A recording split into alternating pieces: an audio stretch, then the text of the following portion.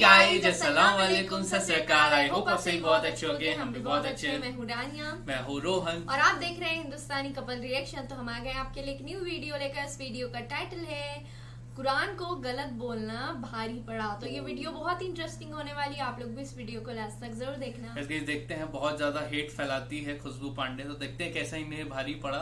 और बहुत amazing video होने वाले है तो वीडियो को लास्ट तक के देखना। बहुत कुछ जानने सीखने को मिलेगा इस वीडियो के थ्रू तो स्टार्ट करते हैं बिना किसी टाइम वेस्ट के। हिंदू की सबसे बड़ी बात क्या है पता है? हम हम में सहनशीलता बहुत होती है और हम हिंदुओं की सहनशीलता की वजह से हमने अपना इतना बड़ा जो भारत अखंड भारत था वो खंडित पाया है। और हिंदुओं की सहनशीलता की वजह से सभी लोगों को पता था कि अगर यहाँ पे ऐसा कुछ होता है कुछ भी हो हिंदू के अगेंस्ट आप कुछ बोले कोई हिंदू रोड पे नहीं आएगा सिबलिंग पे टिप्पणी करे कोई हिंदू सड़क पे नहीं आएगा हमारे ग्रंथ पे टिप्पणी करे रामचरित मानस पे आघात करे उसको जलाने की बात करे कोई हिंदू आपका सर नहीं काटेगा।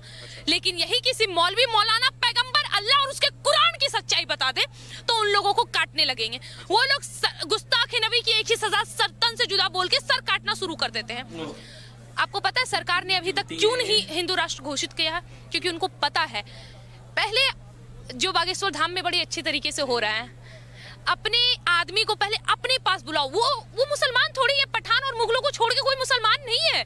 ये तो सबको पता है कि सरयू नदी किनारे कितने लोगों की सिखा नोची गई है और कितने लोगों की सिखा नोच के उनके खतना करवाने के बाद उनको मुसलमान बनाया गया है और वहीं से इस देश में मुसलमान मुसलमान बन गए। तो पहले अपना प्रथम कार्य करे। क्या फ़ायदा मार काट करके या फिर क्या फ़ायदा उनको मुसलमान बता के किसी और कंट्री में भेजने का? हमारे जो देश के हैं, वो इसी देश में रहे ना। केवल पठान और मुगल जैसे कि असउद्दीन वैसे भी कहते हैं कि हमें मुगलों से ना जोड़ो। मुगलों से हमारा कोई वास्ता नहीं। तो अगर उनका वास्ता नहीं है तो इसका मतलब ये है कि वो भी हमारे हम तो असउद्दीन ओवैसी पे भी दावा ठोकते हैं कि वो भी सनातन धर्म के ही हैं। जी बिल्कुल। तो आप किसी और की तो बात ही नहीं कर सकते। बस यही रीजन है।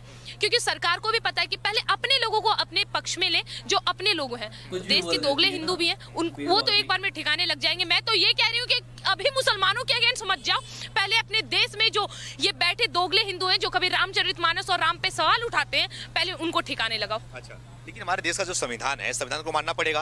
और संविधान बोलता है कि ये सेकुलर देश है हिंदुओं का भी है मुसलमानों का भी है। ऐसे कैसे हो जाएगा कि फिर इस्लामिक कंट्री या फिर हिंदू कंट्री चलिए संविधान के बहुत बड़े ज्ञाता हैं और आ, आज संविधान की उच्च कोटि पे उनका दर्जा है डॉक्टर भीमराव अंबेडकर ठीक है?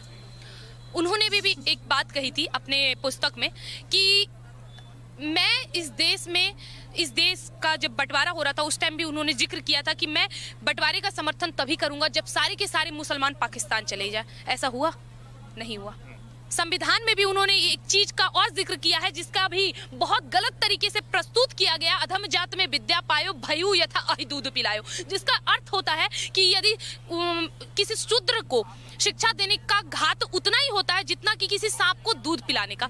और ये बात डॉक्टर भीमराव अंबेडकर, मैं अपने ग्रंथ का बात अभी इसलिए नहीं जोड़ूँगी क्योंकि मुझे पता है इस देश के बुद्धिजीवी वो तो मानेंगे नहीं, लेकिन लेकिन भीमराव अंबेडकर को तो मानेंगे। उन्होंने ये बात कही है अपने पुस्तक में कि जो शूद्र का ज़िक्र वैदिक काल में हुआ और जो शूद्र अभी वर्तमान समय में उनका आपस में कोई कनेक्शन नहीं।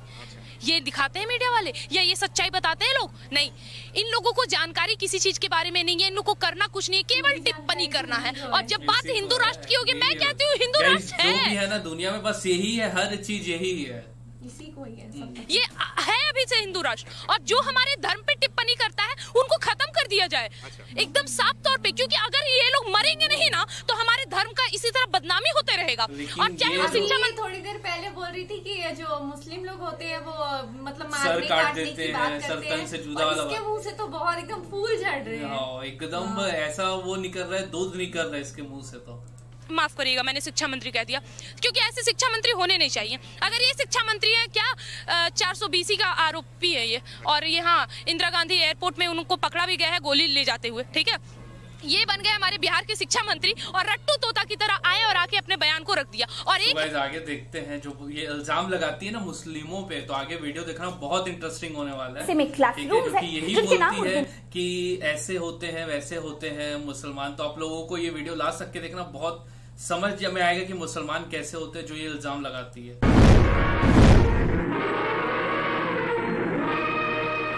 नमस्कार, आज मैं बात करूँगी मदरसे की। जीवन में पहली बार मैं किसी मदरसे के भीतर दाखिल हो रही थी। मैंने देखा कि मदरसे में मस्जिद है, मदरसे में हॉस्टल है, मदरसे में क्लासरूम्स है, जिनके नाम उर्दू में लिखे थे। मैंने देखा मदरसे में प्रधानाचार्य, यानी प्रिंसिपल का कक्ष है। वहाँ एक कंप्यूटर है, जिस पर एक व्यक्ति काम कर रहा था।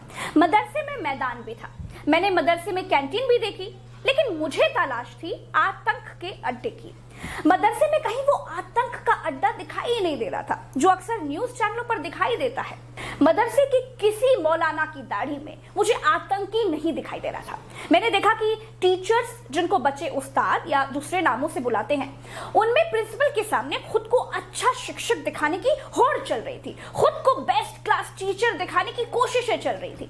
मैंने देखा कहीं उर्दू की क्लास चल रही थी, कहीं हिंदी की क्लास चल रही थी, कहीं अरबी पढ़ाई जा रही थी, कहीं विज्ञान पढ़ाया जा रहा था, कहीं अंग्रेज़ी पढ़ाई जा रही थी। मैंने बच्चों की आँखों में डॉक्टर बनने का सपना देखा। और आप क्या बनोगे? डॉक्टर। डॉक्टर बनोगे? मैंने बच्चों को मौलवी बनने की बात कहते हुए भी पाया। आप क्या बनोगे? जल्दी बता दो। मौलाना। कोई बच्चा कहता है मैं डॉक्टर बनूँगा। कोई बच्चा कहता है कि जी मैं तो मौलवी बनूँगा। कोई कहता है कि मैं इंजीनियर बनूँगा। कोई बोला मैं साइंटिस्ट बनूँगा। लेकिन मैं गोदी मीडिया को देख करके गई थी। मुझे तो तलाश थी उन बच्चों की जो कहते कि मैं आतंकवादी बनूँगा जी। मैं फिदाइन बनूँगा। लखनऊ के जिस माहद मदरसे में मैं गई थी वहाँ पूरे देश से बच्चे पढ़ने के लिए आए थे। यहाँ तक कि विदेशों के बच्चे भी थे। मैं नेपाल का रहने वाला नेपाल के रहने वाले हो? कहाँ से आए हो? आसाम से। हम कश्मीर से कश्मीर से हो आप? आप कहाँ से आए हो? बिहार से। आप बताओ। सिद्धार्थ नगर आप बताओ। यूपी बताओ। दिल्ली। मैंने सारे बच्चों के बस्ते चेक करवाए एक एक किताबें खंगलवाई, लेकिन किसी के पास बम बनाने की बुकलेट नहीं मिली। किसी के बस्ते में बम बनाने का सामान भी नहीं निकला। ना कोई डेटोनेटर ना कोई जेलेटिन की छड़े, ना कि माचिस का कोई बुरादा। आश्चर्य था कि सब के सब पढ़ने आए थे।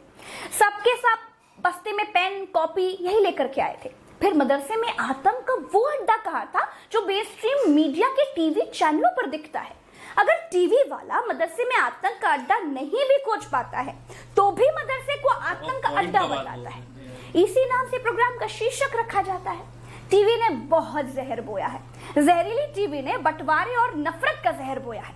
दोस्तों मैं जैसे प्राथमिक विद्यालय जाती रही हूँ बिल्कुल वैसे ही मदरसे के बच्चों के बीच भी पहुँची थी। कॉपी किताबें चेक की उनका जर्नल नॉलेज चेक किया क्लासेस देखे कैंटीन्स देखे हॉस्टल्स देखे मस्जिद देखे लेकिन माफ़ करिएगा आपके ये पत्रकार मदरसे में आतंक का अड्डा खोजने में बिल्कुल नाकाम रही। मुझे जो देखा, मैंने वो बताया। वही वही आपको दिखाया।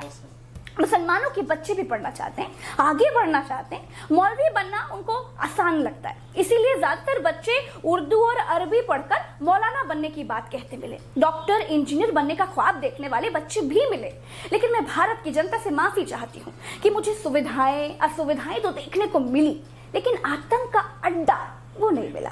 दोस्तों, ये प्रोग्राम आपको मेरे दूसरे चैनल उल्टा चश्मा यूसी पर मिल जाएगा। इसका लिंक डिस्क्रिप्शन में दे दूँगी। मदरसे पर मेरी सो गाइज़ ये था वीडियो बहुत इंटरेस्टिंग वीडियो था। सबसे पहले खुशबू पांडे की बात कर ले। ठीक है, ये एक बोलती है कि अगर कोई कुरान जला दे या अल्लाह पे कुछ सवाल कर दे तो डायरेक्ट सर तन से जुदा करने के बाद बोलते हैं। लेकिन वो एक डायलॉग टाइप का बोला गया है, लेकिन आज तक के ऐसा कभी दिखा नहीं है कि किसी को ऐसा नुकसान पहुँचाया गया है। ठीक है? क्योंकि बहुत से अभी इतने इस्लाम के पीछे पड़े हुए हैं। अभी कुरान साहिब जलाया गया स्वीडन में। लेकिन वो स्वीडन में एक लड़के ने जो मैं बता रहा हूँ, मुस्लिम बंदा जो खुद वो रिकॉर्ड से वो किया कि वो मतलब तौरेत और वो जो इंजिल विंजिल है ना, वो बुक को मुस्लिम लड़के ने अदालत से पेश किया और बोला कि मेरे को ये जलाने की इजाज़त दो तो उसे परमिशन मिल गया। लेकिन वो भाई ने जलाया नहीं। वो बोला कि मेरे को कोई अधिकार नहीं किसी भी धर्म के बुक को जलाने का। तो मुसलमान इतने अच्छे होते हैं जो बताया जाता है। ठीक है? तो जो खुशबू पांडे बोल रही थी ये जो इनके ज़ुबान से ऐसा लग रहा था कि एकदम बता रहा हूँ मतलब इतनी मीठी हाँ। और इतनी अच्छी बात कर रहे थे और दूसरे तरफ़ इस, बस इसको दिक्कत है मुसलमानों से। ठीक है? ये हमेशा यही बोलती है हिंदू राष्ट्र बनेगा हिंदू राष्ट्र बनेगा और ये बात की बागेश्वर धाम की। ठीक है? तो बागेश्वर धाम इतने बड़े के बता रहा हूँ ना इतने बड़े के ढोंगी। बाबा हैं जो अभी क्या बोल रहे हैं अपने ही रिलीजन के। मतलब हमारे हिंदू धर्म में जो लेडीज़ है उनपे ही वो आपत्तिजनक बात बोल रहे हैं। रजिस्ट्री वजिस्ट्री करवाने की बात बोल रहे हैं जो शादी हुआ रहता है उनका रजिस्ट्री हो गया है और जो जि, जिस औरत का शादी नहीं हुआ है वो मतलब प्लाट खाली है। इतनी भद्दी बात। बात करने की खुद सेंस सेंस नहीं है है। कि वो इतने बड़े जगह पे बैठे हुए हैं इतनी करोड़ों लोग देख रहे हैं। तो वो थोड़े अच्छे अल्फाज यूज़ करे मतलब औरतों के लिए। ठीक है तो ऐसे लोगों के ये पीछे अंधभक्ति से चलते हैं चलती है और ये खुशबू पांडे। खुद सपोर्ट कर रही है बागेश्वर धाम आए हैं अरे आए हैं तो क्या हुआ? ऐसा बहुत आए बहुत चले गए। ठीक है? जो भैया आप अपने रिलीजन का बात बताओ दीन दुनिया और पॉलिटिक्स का बात मत अच्छी करो। चीज़ें अच्छी चीज़ें आप खुद बोल रहे हो कि दूसरा धर्म ये सिखाता है वो सिखाता है और तुम क्या बोल रहे हो? मारने तो- की बात कर रहे हो कि वहाँ यहाँ से खत्म करो ऐसा वैसा खुद फालतू की आगे फिर हम देखे प्रज्ञा जी का वीडियो तो बहुत इंटरेस्टिंग वीडियो था ये बहुत अच्छी जवाब है तोड़ जवाब है ऐसे लोगों को अंधभक्त लोगों को ठीक है? बाकी अगर आप अगर मुस्लिम लोगों का सपोर्ट करोगे ना तो आप इंडिया में देशद्रोही हो। आपको पाकिस्तानी घोषित कर देते कई लोग कमेंट में आते हैं अरे ये तो पाकिस्तानी है। पाकिस्तानी का प्रोपोगंडा चला रहे हैं। अरे लोग ठेका लेके बैठे जो अंधभक्त है ना हाँ। कि किसी को सर्टिफिकेट देने का कि इंडियन है या नहीं हम्म, ये देशद्रोही है ये वो। और बाकी रही बात मदरसे की तो मदरसे पे मैं बात बोलना चाहूँगा बहुत जो नॉन मुस्लिम है ऐसे बहुत से लोगों से कि मैं फेस टू फेस सुन चुका हूँ कि वो बोलते हैं कि जो मदरसा होता है ना वहाँ पर आतंकवादी बनाया जाता है। वहाँ पे गलत कामों काम होता है लड़कियों के साथ। ठीक है, ऐसा ऐसा बोला जाता है, बच्चियों के साथ गलत काम होता है, लेकिन आप लोग खुद देखिए यहाँ प्रज्ञा जी के वीडियो में कि क्या हो रहा है। एक भी बम बनाने का कोई भी फॉर्मूला आप लोगों को नहीं मिलेगा। बेचारे भाई बोल रहे कि हम डॉक्टर बनेंगे, इंजीनियर बनेंगे। इतनी अच्छी है और ऐसा ग्रोथ कर रहे हैं और इन्हें पढ़ना पढ़ना लिखना भी चाहिए, जितने भी मुस्लिम भाई है। ताकि वो चीज़ों को समझे ताकि वो कभी भी उन्हें कोई दबा ना सके। सो so गाइज़ ये था वीडियो बहुत इंटरेस्टिंग वीडियो था। इस वीडियो को ज़्यादा से ज़्यादा शेयर करो अपने अनभक्तों दोस्तों को भी दिखाओ ताकि उनका भी कॉमन सेंस और थोड़ा सा तो जागे। तो इंसानियत तो ये आए वीडियो आप लोगों को कैसा लगा? ज़रूर कमेंट बॉक्स पे कमेंट करके बताना। और अगर आप इस वीडियो पे न्यू होगे तो इस वीडियो को लाइक कर देना इन चैनल को सब्सक्राइब करके बेल नोटिफिकेशन ऑल पे सेट करना। मिलते हैं नेक्स्ट वीडियो में तब तक के लिए बाय लव यू गाइस